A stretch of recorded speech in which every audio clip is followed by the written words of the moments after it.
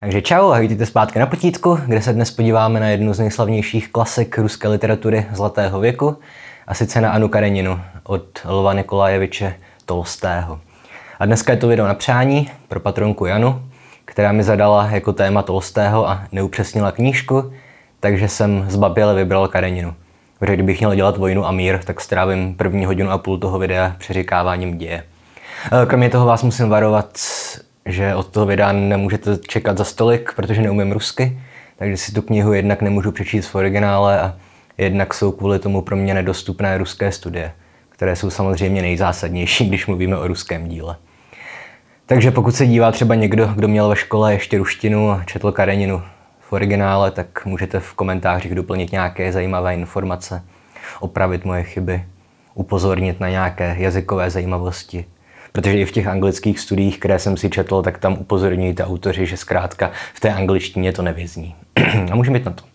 A jako obvykle začneme u autora, který se narodil roku 1828 a zemřel 1910, takže v podstatě celý dlouhý život svůj strávil v době eh, vrcholné ruské literatury.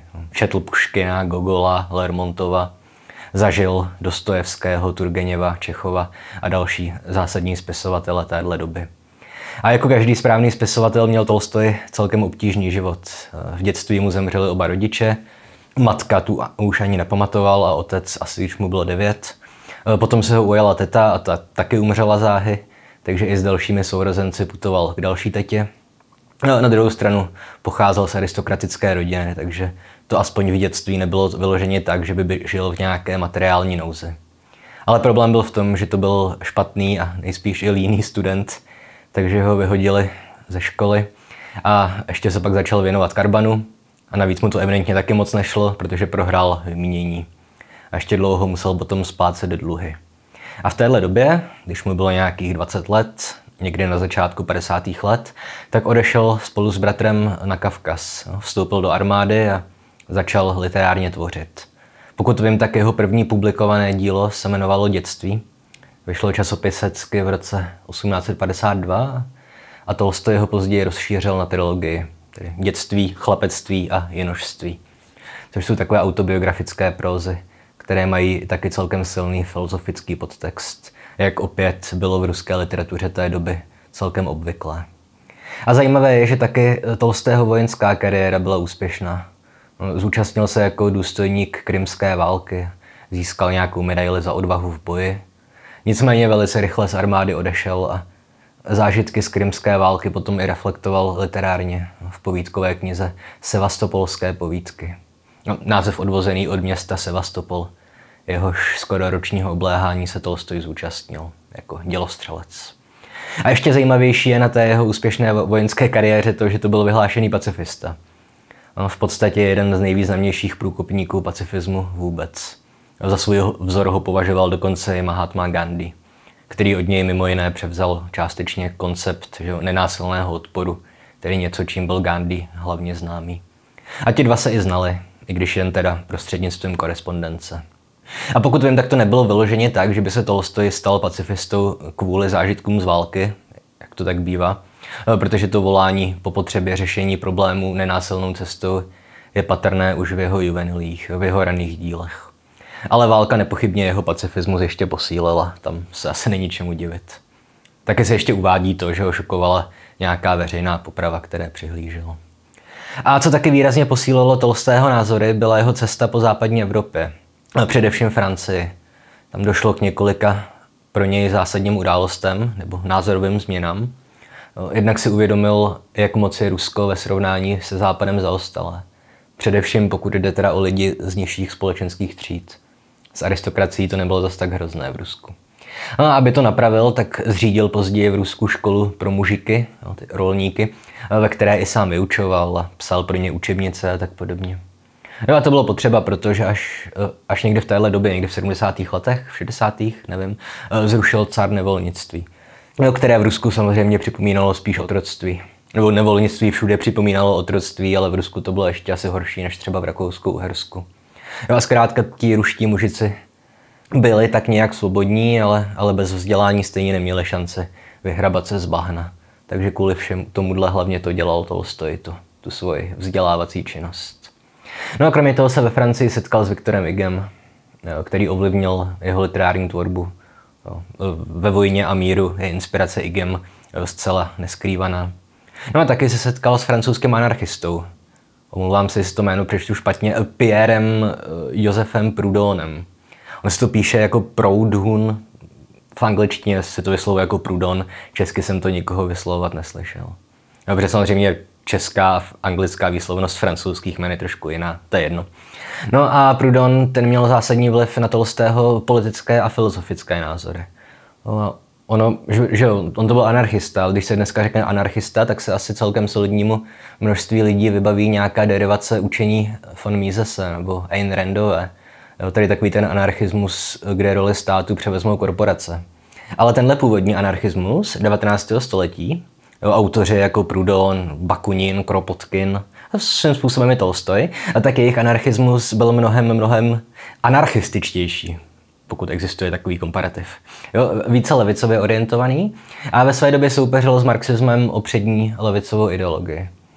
Konec konců nejznámější Prudonův výrok zněl, že vlastnictví je krádež. Ale co je odlišovalo od marxismu, bylo to, že odmítali nejen vlastnictví soukromé, ale taky jakýkoliv majetek, který by měl vlastnit stát. Takže v tom smyslu byli marxisti taky nepřátelé anarchistů. A mimochodem nejsem politolog ani nic podobného, ale takhle od oka mám pocit, že hodně současných požadavků těch takzvaných neomarxistů je bližší Prudonovi a Bakuninovi než Marxovi, ale jak říkám, co já vím. Ale teda zpátky k Tolstému a on se s Prudonem setkal, mimo jiné spolu diskutovali o významu vzdělání, svobodného tisku a podobných záležitostí. A Tolstoj si od něj dokonce i vypůjčil název knihy Vojna a mír. A do určité míry ho tedy Prudon ovlivnil politicky, i když se v mnohem odlišovali. No hlavně proto, že Prudon byl velký nepřítel náboženství, zatímco Tolstoj byl asi celkem hluboce věřící křesťan, i když měl taky období, kde jako pochyboval, ale to je jedno. Jo, a jeho filozofie vytvořila v podstatě nový směr uvažování. Říká se mu křesťanský anarchismus. No a jak měl podle něj vypadat? Hm, on v podstatě vycházel asi z nejslavnější pasáže Nového zákona, z Kristova kázání nahoře. V první řadě prostřednictví jeho vysvětloval svůj radikální pacifismus. Protože při kázání nahoře říká Kristus, že když vás někdo udeří do tváře, máte mu nastavit i druhou tvář. Jo? A stejně jako Prudon nebyl Tolstoj milovník soukromého vlastnictví, akumulace bohatství. Jo, opět i tady můžeme odkázat na Kristovou učení, protože přece, že spíš projde velbloud uchem jehly, než aby se boháč dostal do království nebeského. A je mimochodem celkem vtipné pozorovat, jak určitá část současných křesťanů a velká většina historických mocných křesťanů eh, kompletně ignoruje a ignorovala tyhle dva zásadní Kristovy imperativy, tedy odmítání násilí a kumulace majetku. Eh, každopádně pro Tolstého byla zásadní myšlenka, že člověk má milovat svého bližního a Boha. O církvi ani státu nebyla řeč. Takže proto křesťanský anarchismus. A nevím, jestli tuhle filozofii dneska provozuje nějaká významnější nebo vlivnější skupina lidí, ale po Tolstého smrti zkoušel ještě pokračovat v rozvíjení jeho učení, jeho student a taky správce literární pozůstalosti Vladimir Čertkov. Ale to už je dneska zřejmě úplně zapomenutá postava. A to myslím úplně stačí, pokud jde o autora. Jen takové stručné schrnutí jeho života a filozofie. Ještě jsem zapomněl zmínit, že to byl sexista a myslel si, že ženy patří do kuchyně a neměly by se obtěžovat čímkoliv jiným než péčí o manžela a o děti. A teď už se můžeme podívat na Anu Kareninu. Takže tenhle román vycházel na pokračování v 70. letech. E, autor na něm pracoval skoro 10 let a když jsem si předtím dělal srandu, že děj vojny a míru bych neměl šance ani naznačit, to tady vlastně platí pro Anu Kareninu. Eh, na druhou stranu do, dobrá zpráva je, že tohle video se nepustí žádný zoufalý maturant tři dny před maturitou, protože proč by si někdo psal do seznamu literatury dílo, které nečetl a má skoro tisíc stránek. Že? A asi 79 důležitých postav s obtížně zapamatovatelnými jmény. Takže pokud jde o děj, nastřelím jen jeho úplně základní kontury a dál budu předpokládat, že jste tu knihu alespoň někdy v minulosti četli. No a tedy děj začíná na moskevském hlavním nádraží, a vláčky budou mít v téhle knížce ještě důležitou roli, jak si nejspíš pamatujete. A do Moskvy přijíždí kdo jiný než Anna Kareninova, manželka nudného petrohradského úředníka, se kterým má malé dítě. A aby těch pomrkávání na čtenáře nebylo málo, tak eh, Anna do Moskvy přijíždí proto, aby urovnala vztahy v rodině svého bratra Štěpána, který byl nevěrný své manželce a s nějakou francouzskou služkou nebo vychovatelkou. No a Štěpánova manželka má mladší sestru, Kitty, o kterou se ucházejí dva nápadníci. No, jednak Lenkovan, statkář, Konstantin Levin, takové tolstého alter ego, dobrák s filozofickými sklony a hledající smysl života. No a druhý nápadník je šarmantní voják Alexej Vronský. A Kitty dá samozřejmě přednost Playboyovi Vronskému, který má na rozdíl od Levina pěkné bílé zuby. Uh, jenže Vronský se zamiluje do Anny Kareniny a vzniká nám tu milostný sedmiúhelník, nebo nevím, kolik lidí tam hraje roli v tom. A Karenina se nejdřív pokouší zůstat věrná manželovi a vrací se za ním do Petrohradu, jenomže Anna je prostě vášnivá, atraktivní žena, zatímco Karenin je úředník tělem i duší, pro kterého je vrcholem vášně pečlivě podepsaný a orazítkovaný dokument. Takže Karenina nakonec neodolá a s Vronským se vyspí. I když to tam není řečeno explicitně protože cenzura v Rusku 19. století něco jako sexuální scény nedovolovala. Jako dneska, že jo. Tamhle Raskolnikov vám umlátí ženu sekerou, ale ukázat sex, to, to by nešlo. No a přestože je to manžel Karenině ochotný odpustit tu, ten zálet a dokonce adoptovat dítě, které Anna s Vronským čeká, tak ona dá přednost Vronskému, se kterým uteče do Itálie na jakési líbánky. No jenže v tuhle chvíli už to začne jít s Anou z kopce. Jednak se jí stýská po synovi z prvního manželství, jednak je trápí, že kvůli nemanželskému vztahu ztratí prestižní společenské postavení, začne mít i nějaké duševní problémy. Žárlí chorobně na Vronského, hádá se s ním, začne brát opium a nakonec v zoufalství skočí pod vlak. A jelikož vypravěč vidí postavám do hlavy, o tom si ještě budeme povídat, tak se dozvíme, že Anna si tu sebevraždu chce rozmyslet, ale už to nestihne a ten vlak ji zabije. Takže je to o to horší, že se nejedná o nějaký únik z neřešitelné životní situace, ale prostě jen rozhodnutí v afektu, kde navíc ta pověstná poslední kapka je v podstatě banalita, nedorozumění, ale opět nebudu zabíhat do podrobností. A Vronský po její smrti ztrácí smysl života a odchází bojovat do Srbska proti Turkovi. Tady si myslím, u té ani sebevraždy nemůžeme nevzpomenout na Žána Paula Sartra to jeho tvrzení, že když stojíme nad propastí, Nebojíme se toho, že do ní spadneme, ale že do ní skočíme. Nicméně příběh není jen o Aně Karenině, jak by se vám mohli snažit tvrdit některé filmové adaptace. No, ještě v něm totiž máme další páry. Štěpána Oblonského, toho bratraAny, kterého přišla napravovat na začátku knížky. A ten se nakonec s manželkou tak nějak usmíří, spíš kvůli dětem. A pak tu máme ještě Kitty, která se nakonec rozhodne přijmout nabídku k sňatku od sedláka Levina, odchází s ním na venkov společně se chystají vybudovat spokojenou domácnost a vychovávat děti. Jo, obecně ty příběhy obou párů, hm, Levina, Kitty a Vronského a Anny, eh, jsou jo, úmyslně kontrastní. Jo, Tolstoj s tím pracuje.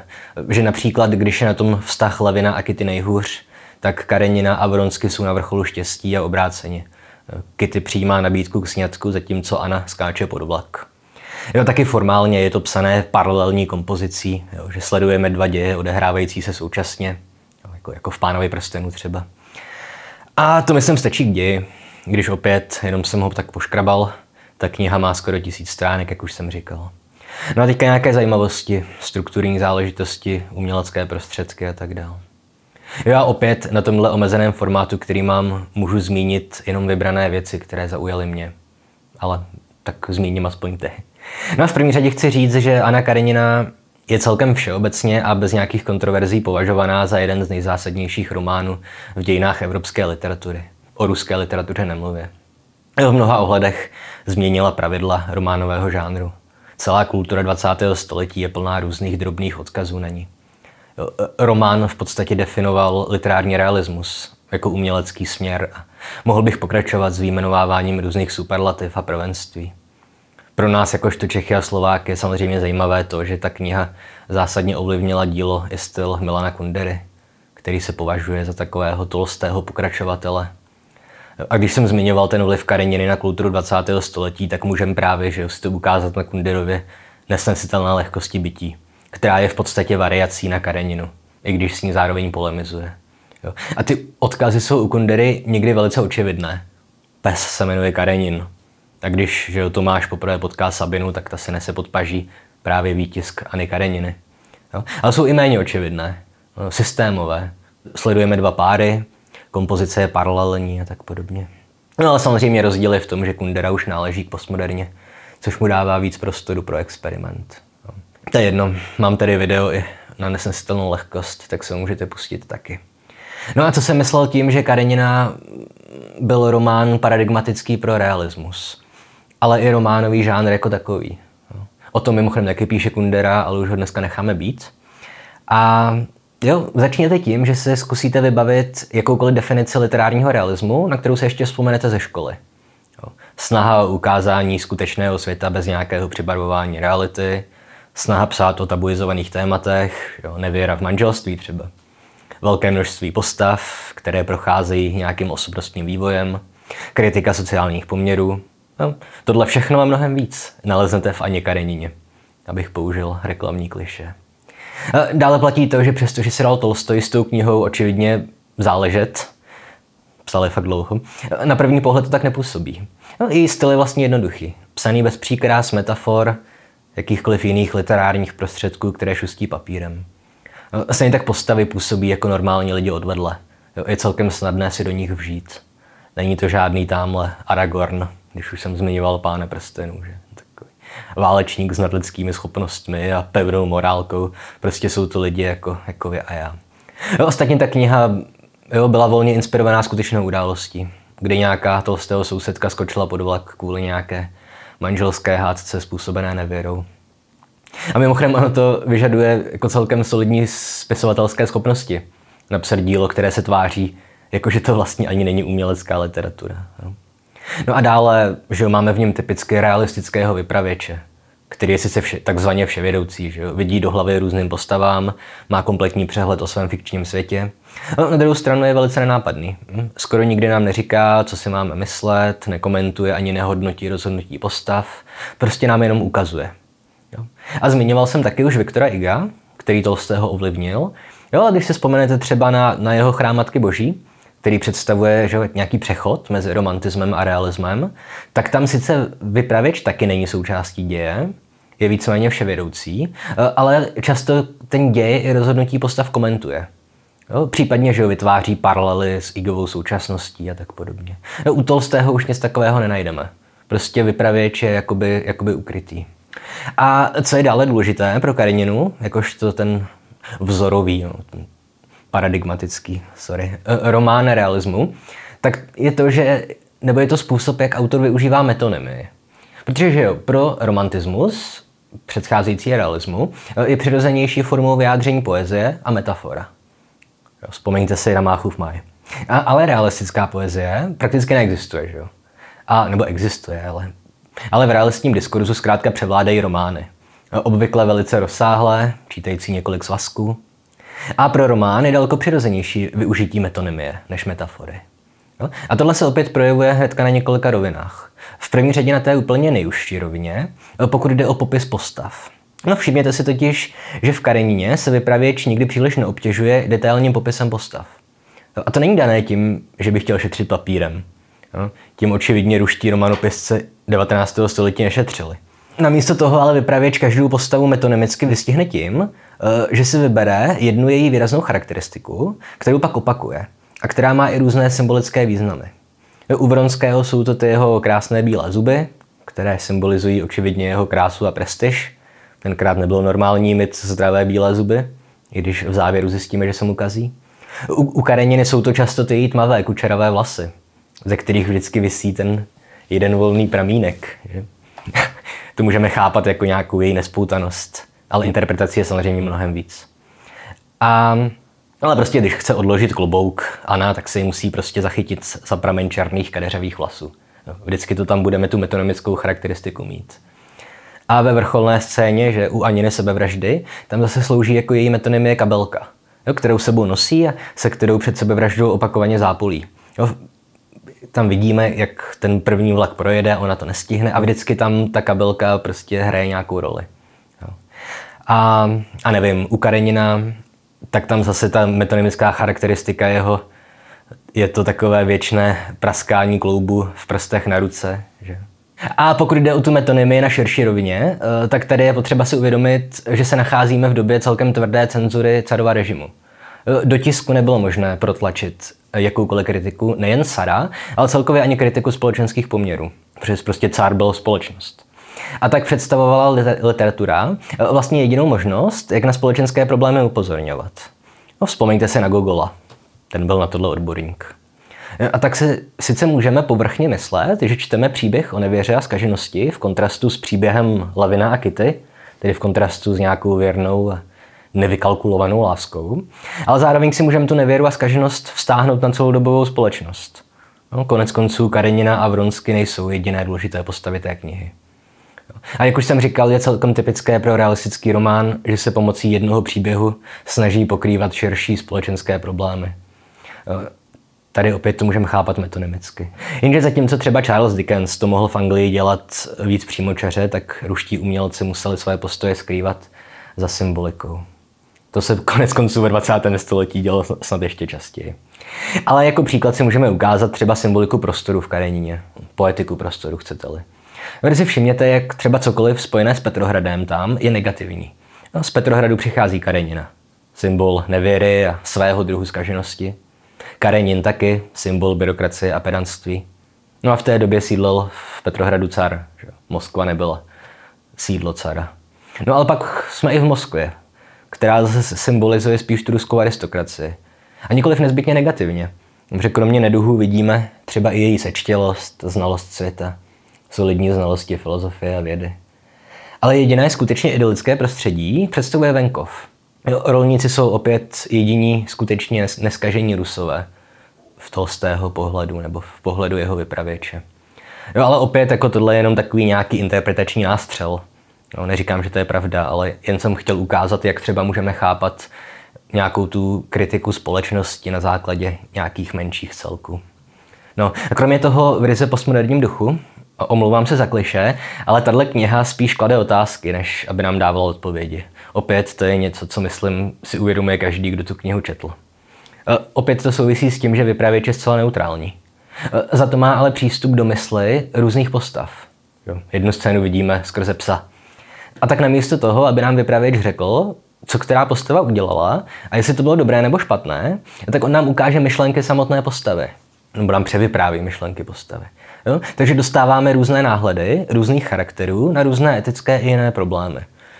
A taky, když říkám, že ta kniha se víc ptá, než aby odpovídala, eh, vezměte si jenom ty dva hlavní příběhy. Samozřejmě to není tak, že Karenina a Vronský jsou špatní a Karenin, Levin a Kitty jsou dobří. Tečka. No, my to tak můžeme číst, můžeme tak chápat, ale vezměte si, že kdyby ta kniha vznikla o nějakých 50 let dřív, tak Karenina a Vronský jsou ultimátně romantičtí hrdinové, kteří se vzepřou těm společenským konvencím, jejich příběh končí tragicky, dají přednost krátkému životu plnému vášně a trápení před dlouhým životem plným pohody a rodinného klidu, což je pro některé lidi definice že jo, nudného a nenaplněného života. Jo. Ale jak pravila velice moudře naše dějepisářka na Gimplu, tak romanticky se dá velice pěkně zemřít, ale nedá se tak žít. No.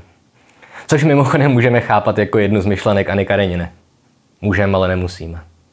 A pokud jde o tu hádankovitost, opět nemusíme chodit nikam daleko. Stačí se podívat na, na motoknihy a na její úvodní souvětí. A začít můžeme asi u mota, to je dřív, tedy má jest pomsta, má jest odplata. No, to je očividně citát z Bible. E, jenže Tolstoj nám neřekne, odkud přesně. No a zajímavé je, že tohle se objevuje ve starém i v novém zákoně. A zatímco ve starém zákoně, e, že jo, myslím v páté knize Mojžíšově, e, to říká Bůh kdykoliv, když trestá nepřátele Izraelitu, aby ukázal svou moc a sílu, tak v Novém zákoně to píše Římanům Pavel Starzu a není to vyjádření moci a síly, ale naopak říká těm vlastně variaci Kristova kázání nahoře. Tedy, že nepřátelům se nemáme mstít ani je nenávidět, protože pokud skutečně udělali něco nespravedlivého, tak je za to potrestá Bůh. Jo? Takže už v motu knihy je ukrytá absolutní víceznačnost. Jo? Buď máme Anu a Vronského nesnášet, za to, že pokazili život tolika lidem, včetně sebe, a nebo naopak, když to vezmeme novozákonně, nemáme je soudit. A znající Tolstého názory bychom asi řekli, že spíš to druhé. Ale kdyby on chtěl, aby to bylo tak jasné, tak by k tomu motu prostě připsal bibliografickou poznámku, jak se to dělá často, když že mám nějaká mota v knížkách. Tedy list Apoštola Pavla Římanům 12.19. A mimochodem, v české verzi, se kterou jsem pracoval, ta jediná, která je dostupná online oficiálně, tak tam je pečlivě dopsané, že je to právě citát z páté knihy Mojžíšovi. Medvědí služba. Jednak podle mě ne, podle mě to odkazuje k novému zákonu, ale prostě Tolstoj sám to nespecifikoval. Takže mám podezření, že paní překladatelka nebo nějaký snaživý editor zagooglovali a našli, co je to za citát a vylepšili originál, který nepotřeboval vylepšovat. No. A u toho mota bychom mimochodem mohli zůstat mnohem dále, protože právě pomsta jako není zrovna důležitou součástí Anny Kareniny. Že jo? Není to tak, že Karenin by vzal po Anině smrti sekiru a šel srovnat Vronského. No. Možný je náboženský výklad, tedy, že Kareninu může soudit jenom Bůh, že to nepřísluší nám. Prostě kdo ví, že No a podobně zajímavá je i úvodní věta. Opět jedna z nejslavnějších úvodních vět. Všechny šťastné rodiny jsou si podobné, každá nešťastná rodina je nešťastná po svém. A tohle můžeme vzít v daném kontextu zcela banálně, jako konstatování vztahující se k manželství ani na bratra Štěpána. Ale těch možností výkladu je samozřejmě mnohem víc. Jo? Ale že jo, chce nám tím vypravět říct, že na šťastných manželstvích vlastně není nic tak moc zajímavého? Jo? Proč bychom se vlastně měli číst příběh Kitty a Levina, když je to stejný příběh jako ostatní šťastné rodiny? A konec konců, kdo si z Kareniny pamatuje příběh Kitty a Levina? Pokud jste tu knihu četli před deseti lety a máte stejně špatnou paměť jako já, tak si možná tak pamatujete, že tam takové postavy byly. Za to Anu a Vronského si pamatujete dodnes včetně těch jejich rovných bílých zubů a kadeřavých vlasů. A jen pro zajímavost, ve Vojně a míru zase Tolstoj píše, že šťastní lidé nemají žádné dějiny, nebo že neexistuje historie šťastných lidí, nebo něco v tom smyslu. Protože opět, těžko budeme vyprávět příběhy o lidech, kteří se prostě spokojeně žili.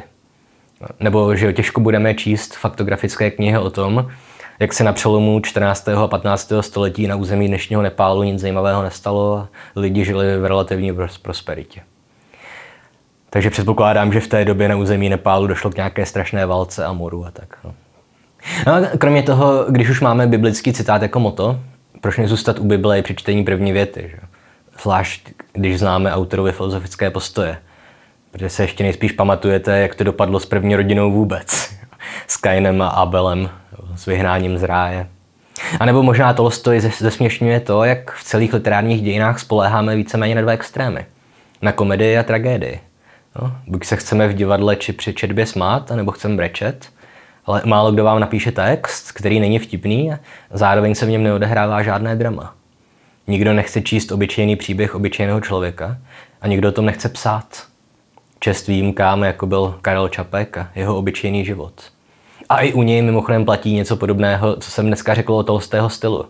Že u Tolstého vyžaduje jako neuvěřitelné spisovatelské schopnosti napsat knihu, která se netváří jako literatura a u Čapka zase vyžadovalo neuvěřitelné schopnosti napsat životopis, který je tak obyčejný, až je ve výsledku více vzrušující než kdejaký thriller.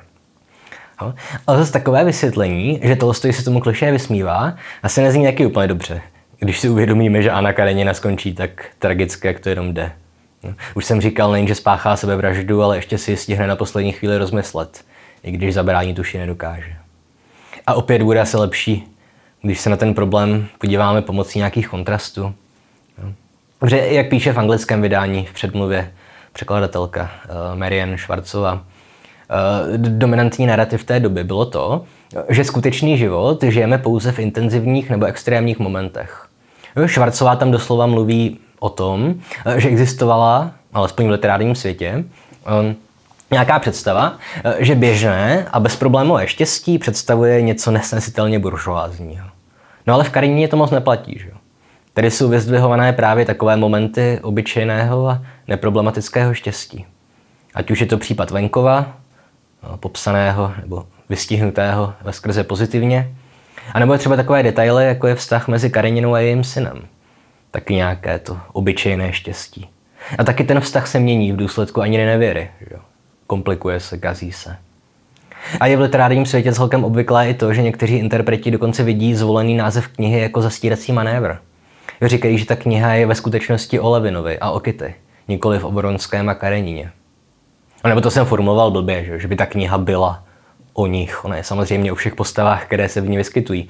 Ale že je to spíš tak, že to stojí to zamýšlel napsat tak, aby zkrátka Levin vyzněl jako nějaký morální vzor, hrdina a Karenina jako padouch, který se nezaslouží lítost.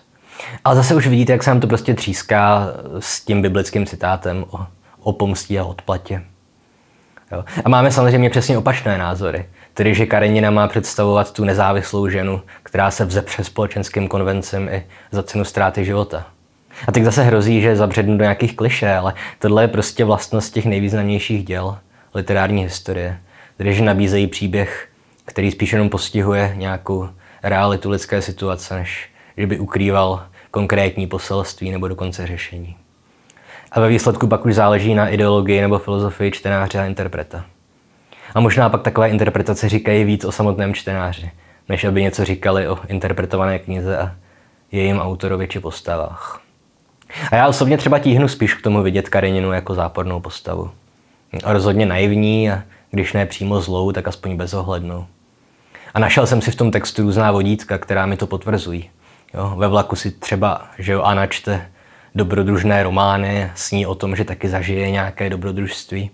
To už jsme tady měli, že? ve Flaubertově Emě Bovaryové.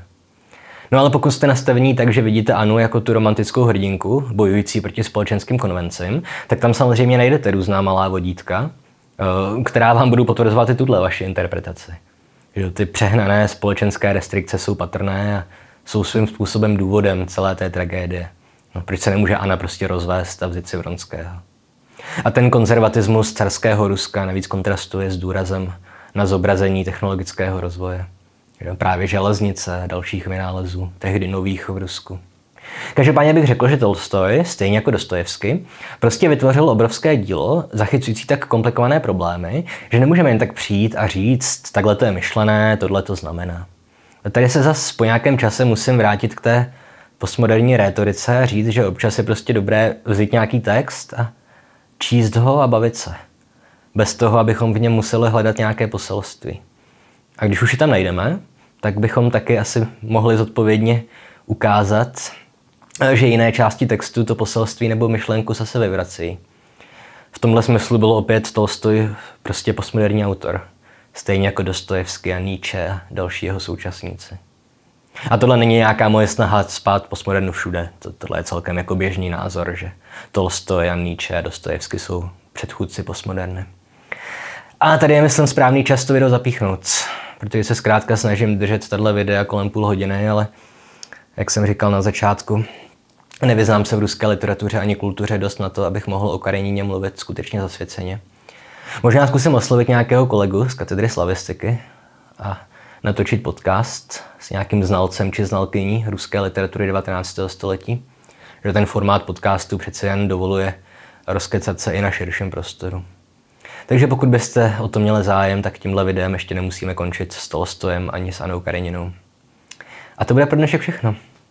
Znáte to.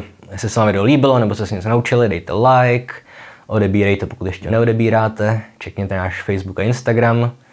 Každé úterý a čtvrtek od půl sedmé taky vysílám na Twitchi video hry se zajímavým příběhem, v tuhle chvíli zaklínače.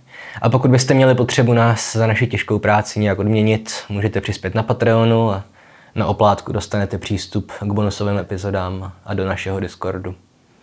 Takže ať je ruská literatura a literatura vůbec. Nazdar.